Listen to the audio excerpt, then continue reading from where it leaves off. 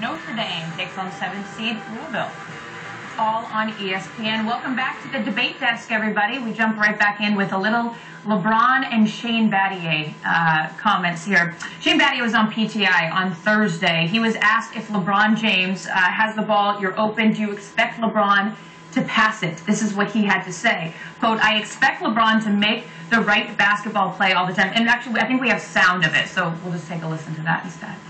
I expect LeBron to make the right basketball play all the time. And he's got an unbelievable basketball mind. And as a religion major at Duke, I've come to, to respect all religions. And you have to respect the bas- basketball gods. There are basketball gods. And if you play the game the right way, when you make the right pass, when you take the right shot, you're usually rewarded. And uh, you know, LeBron's taken a lot of heat for, for a lot for a variety of, of things, but I, I trust him to make the right basketball play at, at crucial times.